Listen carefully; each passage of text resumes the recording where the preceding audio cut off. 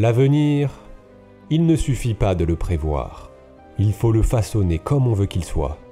Et comme beaucoup ne pensent jamais à l'avenir, alors je le façonnerai pour eux, à leur place. Ils auront à manger, un toit. Ils seront plus bêtes que les bêtes elles-mêmes. Et le plus important, je prendrai le peu de pouvoir qu'ils ont et me l'approprierai.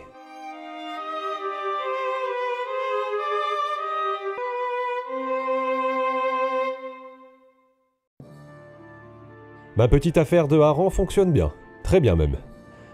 Comme je vous le disais précédemment, j'avais prévu de m'acheter une des deux mines de Bergen. Pour cela, j'ai dû économiser quelques années. Années pendant lesquelles nous eûmes trois enfants avec Inga. Dans l'ordre de naissance, Toto, Louise et Matt. Trois magnifiques enfants qui seront appelés à reprendre nos activités après notre mort. Toujours en recherche d'argent, c'est naturellement que je pars en mission à Rome pour le compte de la Guilde des producteurs de Hambourg. Un riche patricien recherche un orateur bien intentionné. Mais c'est tout moi ça Je vais partir environ six mois. Heureusement, j'ai mis à la tête de mon commerce des gens compétents, et il pourra fonctionner sans mon aide. À mon retour de Rome, on me donne 2000 pièces pour la mission accomplie, et nos finances atteignent les 17 000 pièces. Ce n'est toujours pas assez pour acheter la mine d'une valeur de 20 000 pièces, vous me direz. Et c'est pourquoi je décide de faire un emprunt à la maison de guilde de Bergen. 1800 pièces à rembourser en un an, avec un taux d'intérêt à 5%. Je devrais rembourser un total de 8190 pièces rapidement. Mais je pense que mes activités futures auront rapporté beaucoup plus d'ici là. Pendant l'hiver 1403, je rachète, pour le compte de ma femme, la mine interdite aux mineurs, à l'est de Bergen. Je fais aménager le bâtiment pour qu'il puisse embaucher plus de personnel et être adapté au minage de pierres précieuses. Et ça y est, je n'ai plus d'argent. Et pourtant, j'ai même pas fini de tout faire aménager. Je n'avais pas pris ces dépenses en compte lorsque j'ai fait mon emprunt. Le bon côté, c'est que les pierres précieuses valent cher. Une pierre précieuse équivaut à deux portions de hareng. attendez. C'est tout? J'ai l'impression qu'il y a comme un problème de logique là. Bah, ça doit venir de moi. Nos entreprises sont en route. les revenus ne sont toujours pas là. Ils ne devraient plus tarder cependant.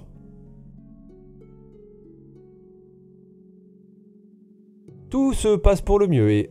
Ma douce, qu'avez-vous donc sur le visage? Mais... Est-ce la lèpre? Quelques semaines passèrent et mon diagnostic s'avère. Bien que cela déforme votre visage, je vous aimerai toujours, mon amour. J'ai bien essayé de la faire guérir à l'hospice du village, mais ils en sont incapables. Vous voyez Si j'avais plus de pouvoir, j'aurais racheté cet hospice de pacotille et investi suffisamment d'argent dans le bâtiment, le personnel et les traitements pour guérir ma femme. Voici une bonne preuve de démonstration de ce qu'est le pouvoir. Et justement, l'heure a sonné.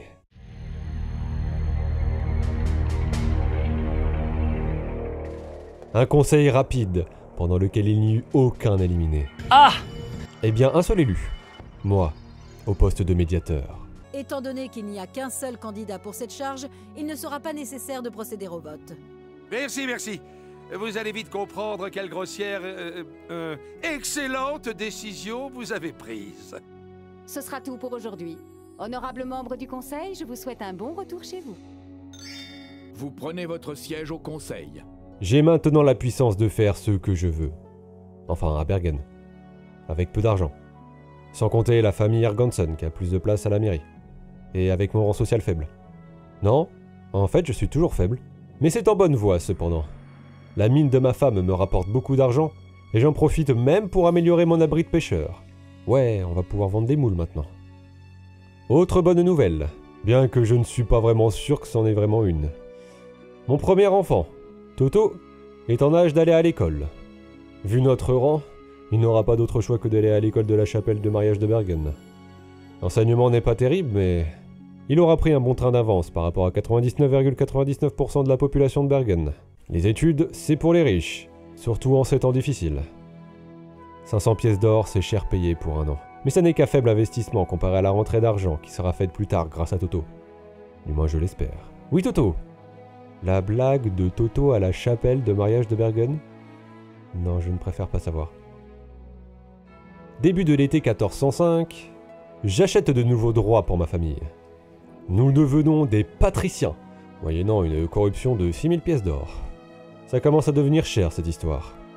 Et ça n'est que le début des dépenses. Ma fille, Louise, est également en âge d'aller à l'école.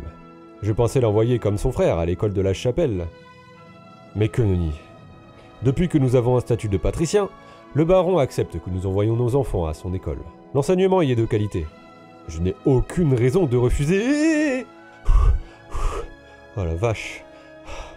Oh, j'ai bien failli faire une attaque en voyant la somme qu'il me demande pour un an d'études. 5500 pièces. Un quart de mine Oh. Et, allez, dis-toi que c'est un investissement, dis-toi que c'est un investissement, dis-toi que c'est un investissement. J'ai mis plusieurs semaines à avaler la pilule de ma dépense. Mes esprits repris, du moins en partie. Je propose à Inga de postuler au poste de bailli de Bergen. Si elle arrive à y accéder, accéder au poste de maire ne sera qu'une broutille. Cependant, la seule personne qui peut voter pour élire ce poste, c'est bien le maire. La femme de l'actuel bailli. Faut que je trouve une astuce.